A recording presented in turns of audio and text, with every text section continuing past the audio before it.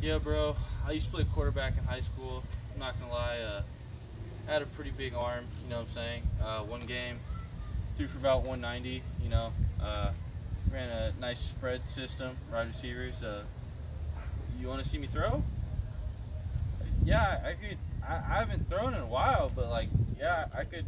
I could try. So I don't know if you guys seen that video of uh, Patrick Mahomes throwing the length of a football field, but uh, back in my heyday, I, could do that easily. I could probably throw about 120 yards flat-footed. Yeah, that's that's easy for me.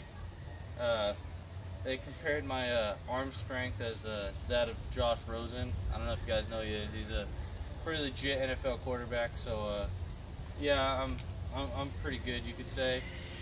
Uh, we, ran, we ran an option system though, so uh, I really didn't I didn't throw that much. But uh, you know, but I'm pretty elusive too.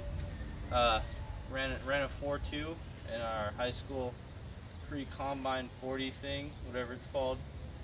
Bench pressed about uh 475.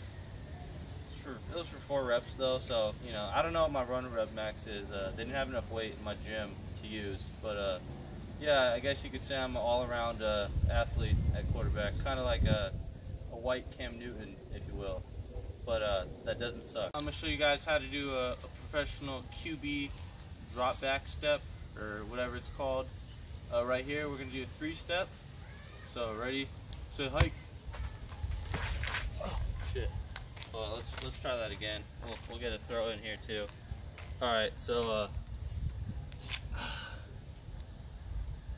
Blue 42.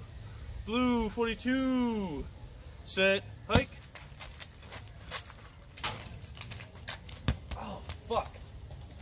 Oh. Oh.